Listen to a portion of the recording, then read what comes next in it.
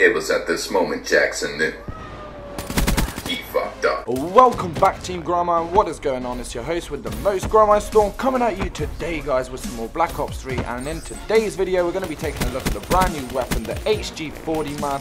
Not many of us have been lucky to get this bad boy in the supply drops, I'm sure all of you know what's going on in the Call of Duty community when it comes to supply drops. A lot of people getting pissed off, man, spending a lot of money and not getting any of that new stuff. And I'm one of those people. Unlike them, though, I don't buy my COD points. I like to grind out the crypto keys. So as you can imagine, double XP this weekend, man, it's been. And as you can see, still going on right now. As we speak, probably like 12, 10, 10 or 12 hours left, I believe.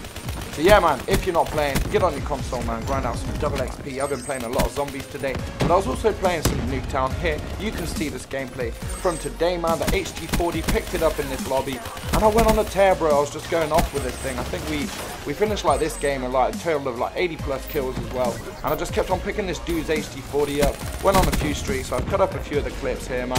Hopefully you do enjoy them. Let me know, yeah, if you've been one of those lucky people to get it out of your supply drops, man. I definitely know that I would like this gun because what I've tried of it today, it definitely feels like it's a, uh, it's got, it's got a good like damage to it.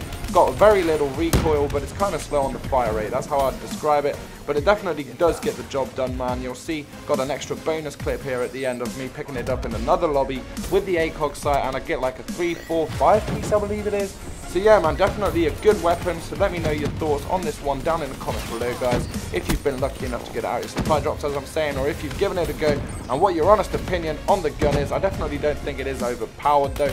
Not in the slightest, man. It'd be nice to try it out with a rapid fire, though. But hey, I only had the grip on this gameplay and the ACOG in the next clip you're gonna see, guys. So yeah, Thanks for watching. Let me know what your opinions are on the HG40, the remake of the MP40 from Call of Duty World at War, aka Call of Duty 5. And I will catch you all in another Call of Duty video pretty soon, guys. Thanks for watching, and peace. You bitch.